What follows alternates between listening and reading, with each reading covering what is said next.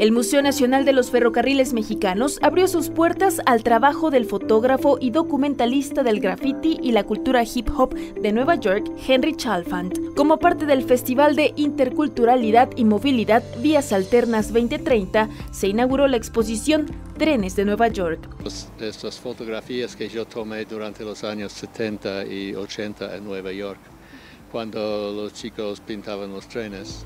Henry Chalfant es pionero en el registro de los primeros años del graffiti y el hip hop en la Gran Manzana. A través de 16 fotografías, los visitantes conocerán la edad de oro del graffiti y el hip hop que tuvo como escenario los vagones del metro de Nueva York. Las fotos que se ven aquí son las fotos que han inspirado a jóvenes alrededor del mundo de seguirlos y, que se identificaron con con sus coetanos en, New York.